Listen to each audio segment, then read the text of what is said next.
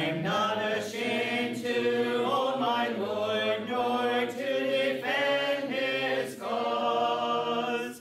Maintain the honors of his word, the glory of his cross. This evening we're in Daniel chapter 2. We're down at verse 24. Uh, just remind us what we have been talking about. Nebuchadnezzar's had a dream. He doesn't remember the dream. Yet, he, when he called his magicians and his astrologers and, and people who interpreted dreams, or at least said they interpreted dreams, he, he asked them to interpret the dream. And so the people said, Well, just tell us the dream and we'll interpret it. And Nebuchadnezzar said, Well, no, you tell me the dream and uh, and the interpretation, and uh, things will go well. However, if you cannot do that, basically, I'm going to kill you uh, because uh, Nebuchadnezzar, if they it, it had these people had said we can interpret dreams, and if they really could, they could also tell what the dream is. And this is the thing with psychics even today and astrologers. They can't do what they claim to do.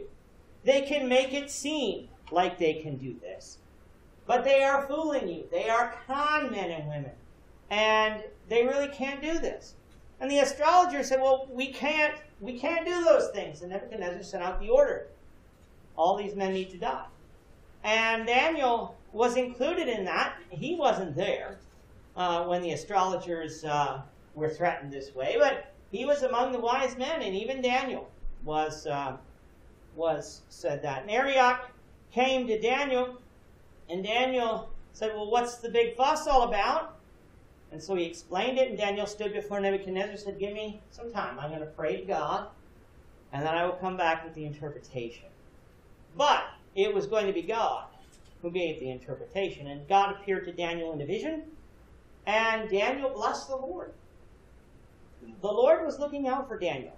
Nebuchadnezzar's threat was very real. If had God done nothing, Daniel would have died.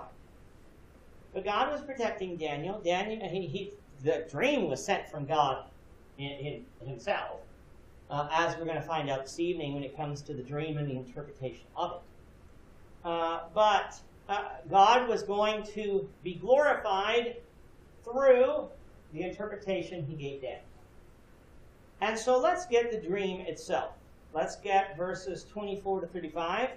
We'll get Henry and then Deanna over to Bill and Tammy. We'll do three verses each.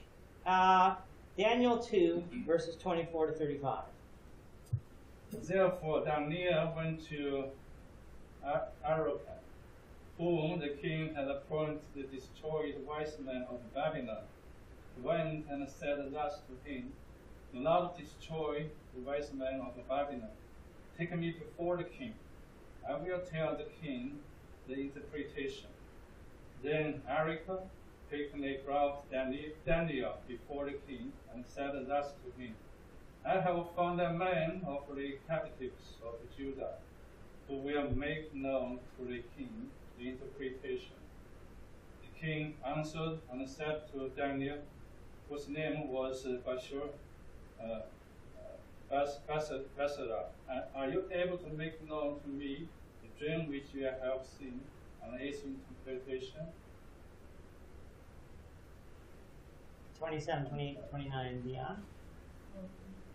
Daniel answered the king and said, No wise men, enchanter, enchanters, magicians, or astrologers can show the king the mystery that the king has asked.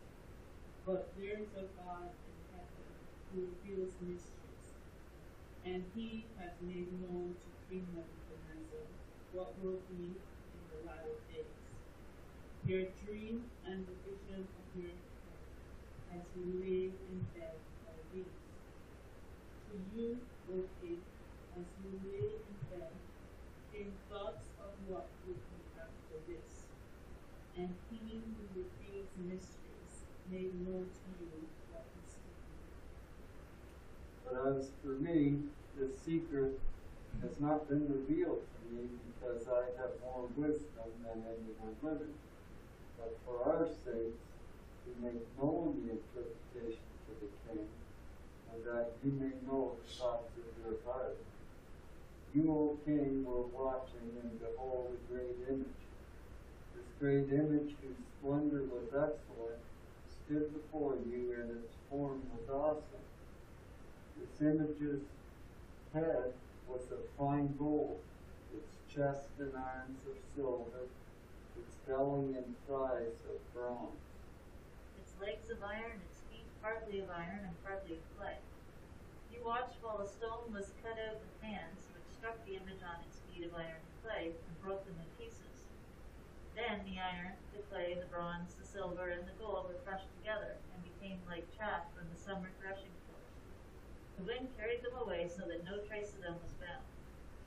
And the stone that struck the image became a great mountain, the whole. All right, so we have here this dream. First of all, before we get there, Daniel went to Arioch and said, I want to stand before the king. I'll tell the king the interpretation, which of course many also would tell the king the dream.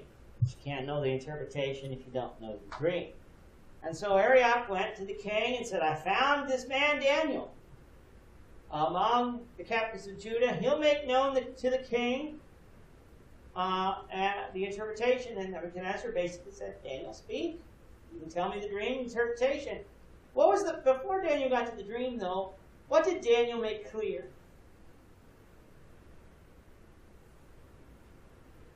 What did he make clear to Nebuchadnezzar? There wasn't anything to do with his. Yeah. Was it? It wasn't him who was giving him the interpretation, the dream, the interpretation. It wasn't him. I'm reminded of what Moses told Israel in Deuteronomy. God didn't select you because you were the most powerful nation, or you were the most numerous of people, or you were the best people. He didn't choose you because of that. He chose Abraham, a man of faith, but he could have chosen anyone. There were other faithful people in that time other than Abraham. We know of Melchizedek in Salem. We know that there were other faithful people. That's why the Amorites, uh, the land of the Amorites, wasn't given directly to Abraham because the sins of the Amorites were not yet full. So there were still some righteous people. God could have selected anyone, He selected Abraham. Abraham had traits that God liked. And Israel was selected based on God's mercy and God's grace. Well, Daniel here saying, don't think of me. The, these other astrologers, they, they would have given you the interpretation based on their wisdom. It would have been their interpretation. Could have been right, could have been wrong, most likely would have been wrong.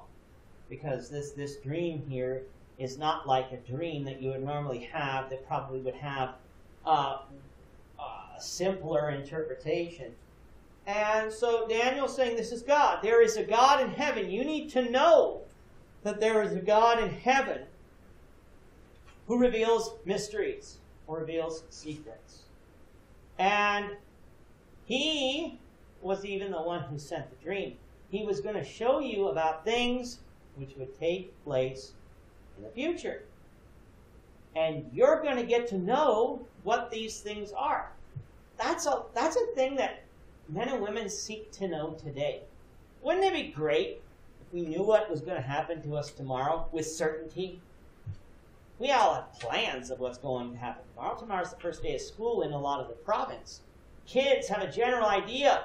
I'm going to go to school. I'm going to I'm going to meet my teachers, meet my friends. I'm going to do these things. However, there are things that could intervene and prevent us from doing those things. We don't know. We have plans, but we don't know. Nebuchadnezzar here was going to be given a dream in which what was said was going to happen. That was quite a blessing that Nebuchadnezzar had. Because we don't all get to know the future. We don't know how old we're going to be when we die. We don't know if we're ever going to get married or not. We don't know what's going to happen to our children if we have children. What's going to happen our, with our job. What's going to happen with this country or the world. If we could know those things, we think we'd be better off, but I don't think we would be. Because then, then if we actually saw what could happen, it's never guaranteed that what's happening is going to be good. and that we're going to enjoy what was revealed to us. But Nebuchadnezzar was going to be blessed. What was the what was what what was the thing he saw? Statue. All right, so it was a statue. It was it was a it was a different looking statue though. Why would it made it different? Most statues are made out of one material. Okay, so yeah, so most of the time we see a statue.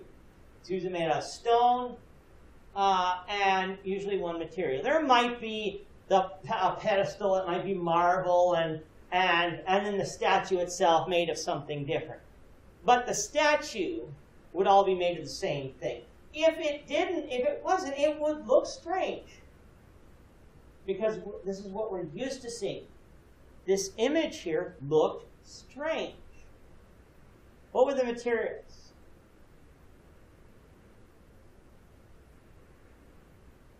Gold, brass, iron.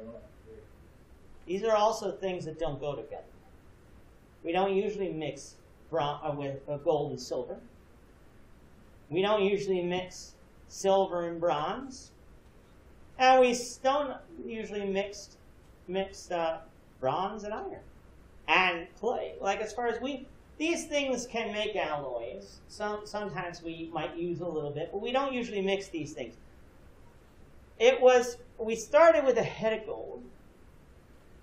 Then we got the breast, the breastplate, the shoulders of silver. Come down to the waist. Oh, that's bronze. And then we get the, the feet and the toes of iron and soft clay, ivory clay, moldable clay. What do you notice about the materials as you go down the statue?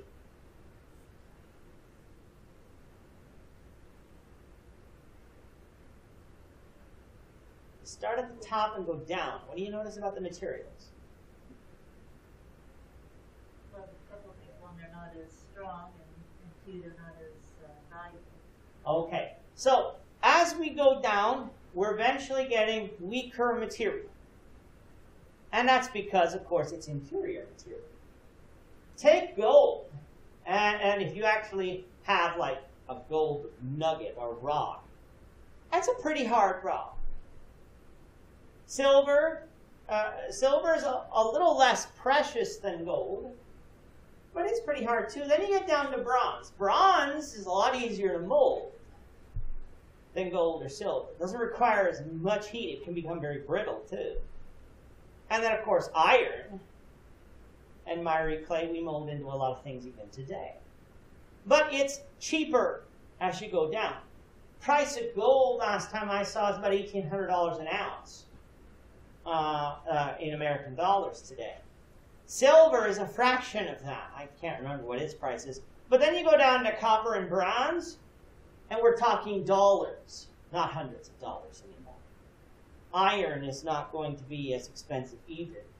And, uh, all right, now as we go down the statue, when we get to the bottom, what's different about the feet and the toes compared to even all of the other three materials?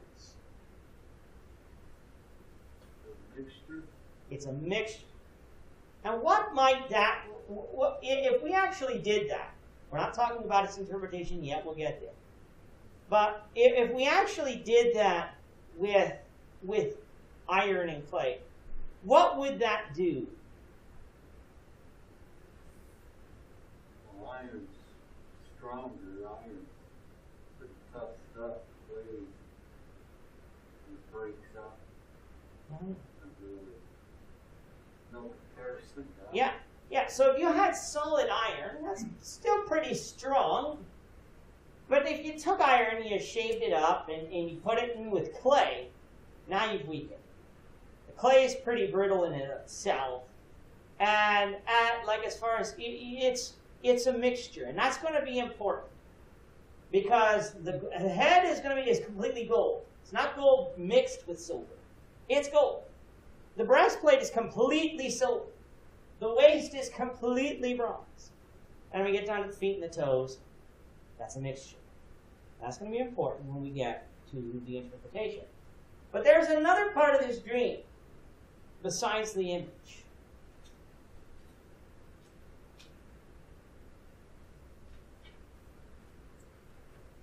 Stone? All right, so what, what, what, what's special about this stone? What's interesting is in the says it was cut out without hands. All right. Now, Like I said, all we, we have to mine gold and silver. We have to mine the copper that we're going to put into bronze. Have to mix the uh, like as far as we have to get the iron ore out of the earth, dig all that stuff up, refine it, purify it. The stone here wasn't cut out by man. It was cut out without hands. And what did it do?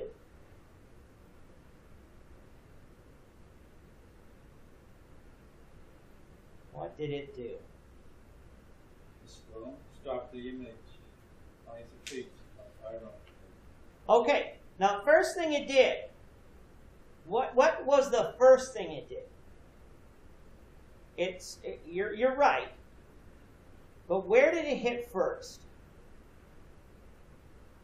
It's easy to miss. It's hit its feet. Now, if this was a normal, forget, forget for a second that we know that this is interpretation. Why do you suppose the stone would hit the feet? What would that do to the statue? Bring it all down. Bring it all down. If I threw a stone at the head, I might lop off the head, but the rest of the statue might stay standing. If I lop off the, the shoulders, well, I'll get maybe the head and the shoulders, but the bottom would still stay standing. However, I go right for the feet. The entire thing's going to crumble. I believe that's important in our in the interpretation that the stone went after the feet of the iron and the miry clay. And the rest of it came tumbling down. They were crushed together like chaff. Just like chaff you can take in your hand and you flick it out into the wind. These are all hard metals. You can't do that. If you have a gold nugget and took a hammer to it, it's hard to crush gold. Hard to crush silver and bronze and, and, and iron. Hard to do that. And yet this stone, which was cut without hands and seemingly struck without hands, was able to just pulverize the statue. And what happened to the stone after it did that?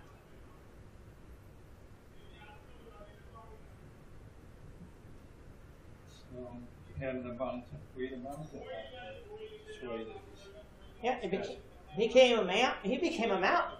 So we have a stone. Uh, we're, we're probably taught like a boulder here. And the boulder didn't remain a boulder, it grew. Now that doesn't happen either.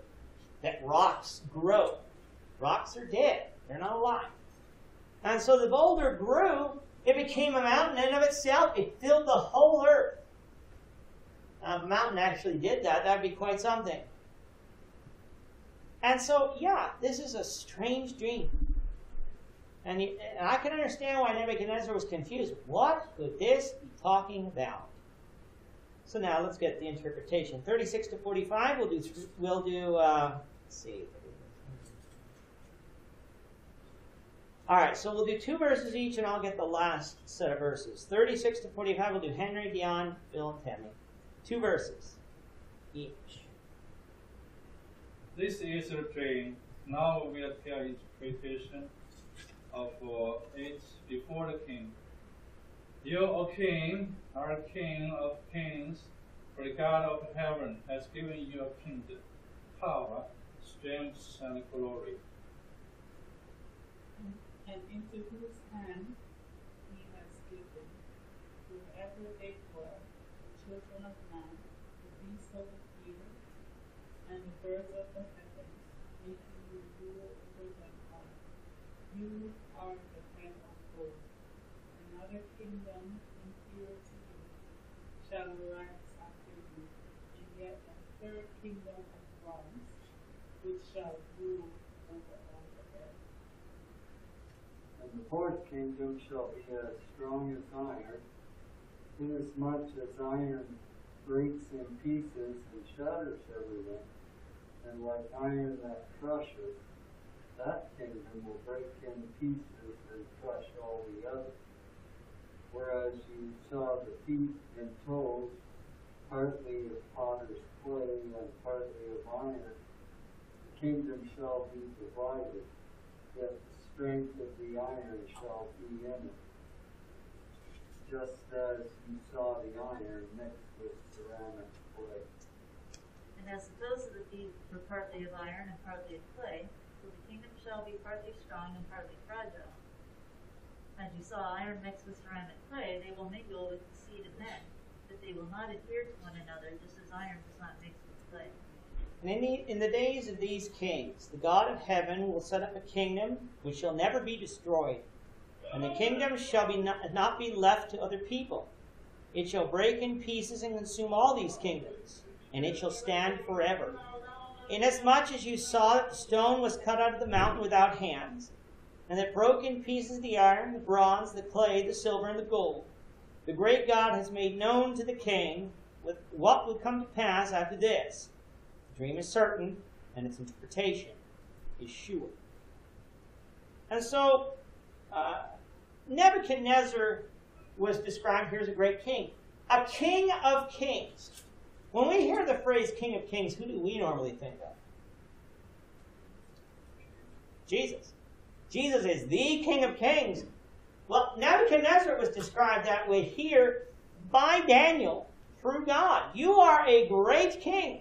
Nebuchadnezzar's empire was stretching the farthest many empires of that day. It was a great and grand empire, went all the way down into Egypt and Africa, went all the way west into what we would call Iran and, and most likely Afghanistan today. Uh, as far as it went, and it went down to the Persian Gulf, it covered vast amounts of territory. He was a great king. He was the head of gold. I know we know what the rest of this interpretation is. However, it's not named who these other kings are. We are going to be introduced in this book to the shoulders of silver and to the waist of bronze. We are not going to be introduced in the book to the fourth king. Uh, the, the legs of iron, uh, which would be then mixed with clay. Uh, I do want to make note, though, even though we will not identify uh, the, the kingdoms here, we'll wait until we get to those parts of the book, and then we will name uh, the, the, fourth kingdom. Uh, we can understand from Scripture who the fourth kingdom is, and we'll discuss that a bit too uh, when we get into later on in this book. There are four kingdoms here. Premillennialists today try to make five. They try to make a fifth kingdom because they don't believe the kingdom has come. And the reason why they try to make a fifth kingdom, it, it is it, it, in it, in verse 43, and as you saw the iron mixed with ceramic clay, they will mingle with the seed of men. They will not adhere to one another, just as iron does not mix with clay. And in these days, the king, God of heaven, will set up a kingdom which will never be destroyed. So a lot of people think, well, we know the four kingdoms. And we know it's the Medes and the Persians, the Greeks, and the Romans. And we come along and we say, uh, well, Jesus' kingdom didn't come in the days of the Romans, so there must be a fifth kingdom. Rome, the, the remnants of the Roman Empire, and other nations. And usually you hear in premillennial talk this one world order, and there's new world order that's going to come together. And in the days of those kingdoms, of the Battle of Armageddon and everything else, and it's just a hodgepodge of misunderstanding when it comes to scriptures. The iron mixed with clay. We know one thing about the Romans if you know history. The Roman Empire started as a republic. And then, in the days of Julius Caesar, it became an empire. And the thing about the, the thing about the Roman Empire was it was unlike these other empires.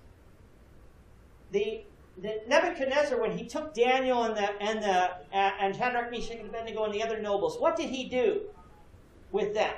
He didn't throw them in jail. What did he do? What did he train them in? Train them in Chaldean, and they learned culture. He was trying to make them Chaldean. He gave them Chaldean names, and they learned the culture. He wanted them to become Babylonians. He wanted them to become those things. The Medes and the Persians would do something similar. They, they wanted people to become them, and the Greeks much the same. The Romans were different, and we know this from the New Testament. You could be anything you wanted in the Roman Empire as long as you were loyal to Caesar and paid your taxes. You could be a Jew, you could be an Egyptian, you could be a Greek, you could be uh, whatever you wanted. They didn't care. And as we know, when a country rallies around a certain cause, they are more united. However, when we add different cultures into the mix, nothing wrong with different cultures. But a nation typically probably will not be as strong if there isn't an identifying culture of the nation, even if there are subcultures in that larger culture. We know that in the Roman Empire, where the Roman Empire really died from within of rot. And that allowed others to come in and attack it. Once it got so big and so and so rotten from the to the core, that it was easy, it was easier to defeat because it wasn't as strong. People didn't have the attachment to Rome that they would have had they been Roman. They just followed Caesar because Caesar was the big power. Once Caesar wasn't the big power, well, don't have to follow him anymore. We'll follow somebody else. It was in the days of the fourth kingdom that God would send a kingdom which would never be destroyed, that stone out of the mountain. That's the most important part of the dream. We focus on the four empires, and we think that's what the dream's about. The dream's not really about those empires. It's about getting to the kingdom of God. The kingdom that would never end. The kingdom that would stand forever. And of course, that's the kingdom of God. The kingdom of Jesus Christ. A mountain is a figure of speech for a kingdom in Scripture. We read of the mountains of the Amorites. We read of the kingdom of Babylon being described as a mountain, and God's kingdom, of course, being described as a mountain, Mount Zion. And so the kingdom, just like the stone grew, the kingdom would encompass the whole world. There would be no borders to this kingdom because it would encompass the whole world. Christ's kingdom can be have anyone in it. And it is strong. It is ruled by the King of Kings, which is Christ. And Daniel ends the dream by saying, It is certain it is sure it will happen, and it did happen, just as Daniel said. Let's get verses 46 to 49 before we run out of time. Then King Nebuchadnezzar fell on his face prostrate before Daniel and commanded that they should present an offering and incense to him. The king answered Daniel and said, Truly your God is the God of gods, the Lord of kings, and a revealer of secrets, since you could reveal this secret. Then the king promoted Daniel and gave him many great gifts. And he made him ruler over the whole province of Babylon and chief administrator over all the wise men of Babylon. Also, Daniel petitioned the king, and he set Shadrach, Meshach, and Abednego over the affairs of the province of Babylon. But Daniel sat in the gate of the king. Now, the king here is going to reward Daniel for his interpretation. I, I do like to note here that in verse 47, Nebuchadnezzar did acknowledge God. But he didn't acknowledge him as the only God. He is the God of gods to Nebuchadnezzar. He might he is the supreme God among all of the other gods. And when you know a little bit about polytheism, you always know that there is a hierarchy of gods. You'll have gods that are more powerful than other gods. And so Nebuchadnezzar said, Well, your God, the God of, of the Jews, he's a God over all these other gods. And that will come into play when we get to Daniel 3. And the image that Nebuchadnezzar had uh, set up in that chapter, the people had to bow down to. Let's not think here in Daniel 2 that Nebuchadnezzar became a full believer in God of Israel and only that God. He knew about this God, which is a start. That truly is a start. That he recognized that this God could reveal secrets, that this God is the Lord of kings, he is the God of gods. Now we just got to get Nebuchadnezzar to leave behind all those other gods because they're false. And so Daniel got promoted. He, he was given many gifts. He was made to rule over the province of Babylon. That's not the entire kingdom, by the way, that's just the province. And he became the chief administrator over the wise men. He, he became the head guy. And Daniel didn't forget his friends. He petitioned for Shadrach, Meshach, and Abednego, and uh, they they became uh, over the affairs of the province of Babylon. But Daniel sat in the gate of the king. Daniel was even over them. I'd like us to quickly consider the providence of God in fulfilling his will. God was going to bring the Savior into the world through Israel.